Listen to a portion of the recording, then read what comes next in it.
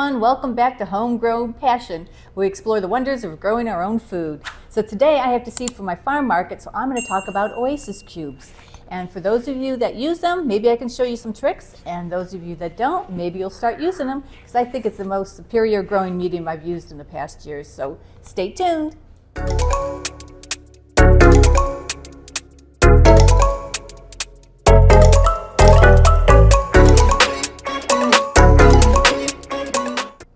I've been using Oasis Cubes for about seven years now. They have an enhanced drainage system so the top stays drier and the bottom stays wet where the roots are, and so I don't get the algae growth on top.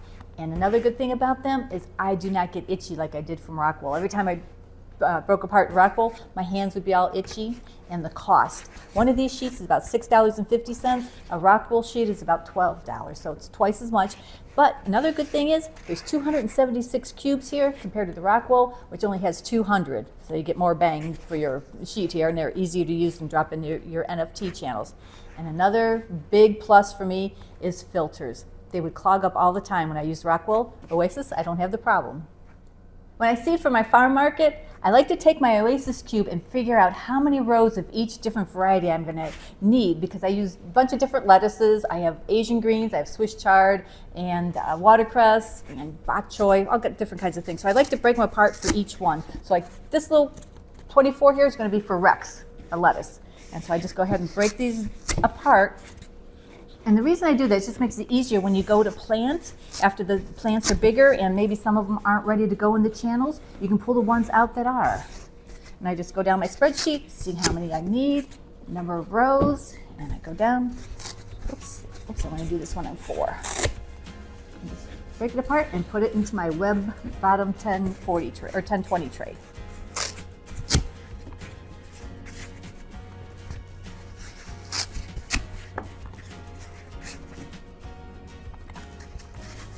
Double check myself.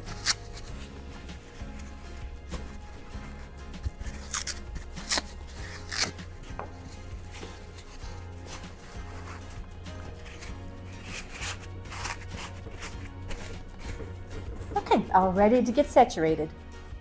Now that I have my cubes ready in the web bottom tray, I put them in a solid tray and I use nutrient water because it's already pH adjusted and that's what the uh, young seeds need.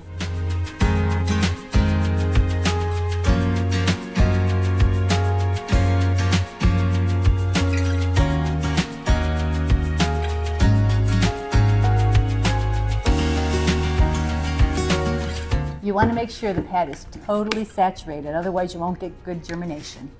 So I've had a few questions about the difference between the multi-dibble Oasis Cube and the single seed Oasis Cube. Well, in a nutshell, the single seed is a cone shape, so when you drop a seed in, it goes all the way down to the bottom. The multi-dibble is more of a cylinder shape, so when you drop multiple seeds in, they all go down to the bottom for germination. So as some of you might know, I keep all of my seeds in a mini refrigerator in the control tunnel. And the reason I do that is it keeps the seeds fresh and viable for so much longer. Some of those seeds I've had in there two, three years and I still get really good germination from them.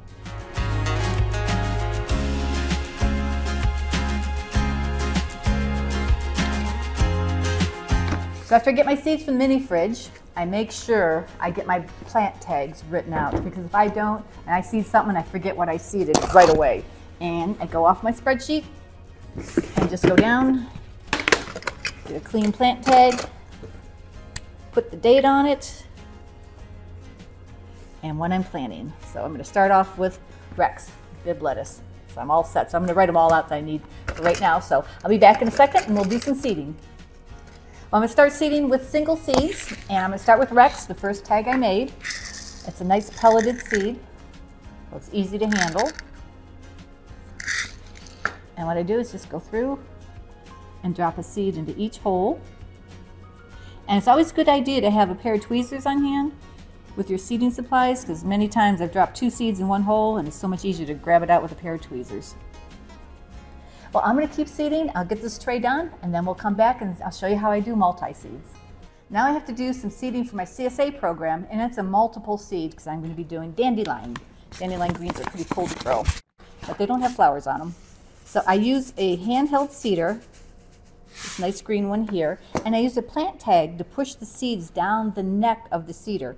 They do come with the lid, but for me it's just a lot easier to use the plant tag to push the seeds out.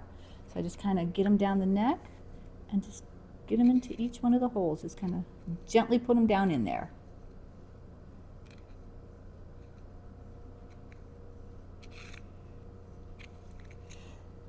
Well, let me finish doing the seeding and then I'll show you where I put the trays for germination and how I cover them up. Now that the whole tray is seeded, time to take it out to the greenhouse and germinate.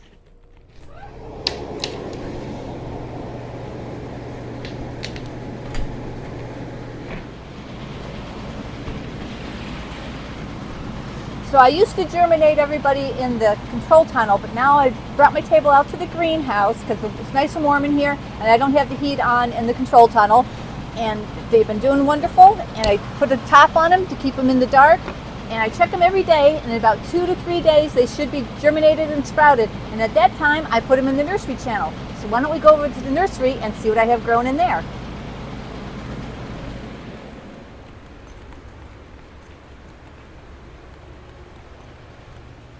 Is the nursery channel.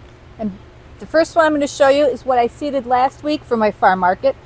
So they're, uh, they're less than a week old. And look how happy they are. They're all sprouting real good. And then here I have Little Wren, which is the mini bok choy. Not quite ready to go in the NFT channels yet because they don't have enough leaves and there's no roots coming through. The next one is uh, Hon Tsai Tai, which is a Asian green that has a mustard flavor. More Little Wren, and some more Hon Tsai there at the end. But what I have in these two rows here is Rex. And I looked at it earlier, and you can see the roots are starting to come through. So these guys are ready to go in the NFT channels. If I was going to plant this whole pad, I'd pick up the whole tray. But since I'm just doing these few, I'm just going to stick them here because they like to drip all over the place and take them down to the channels I want to plant them in.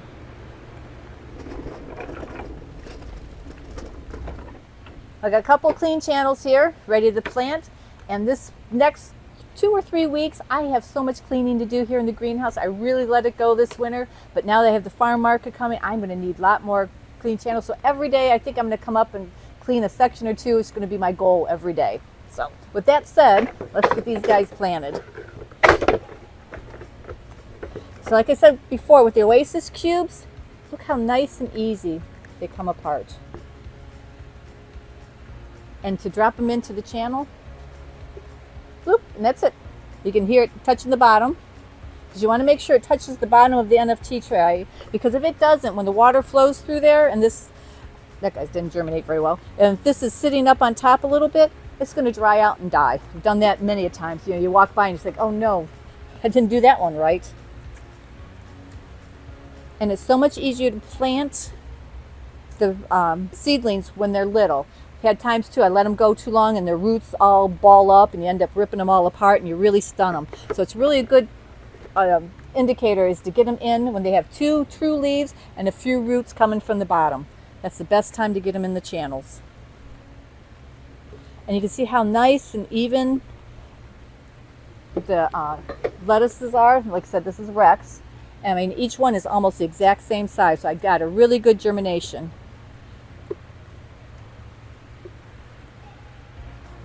Okay, stick them into the hole, the return line, hook up the water, let it go for a second, and get it in there. There.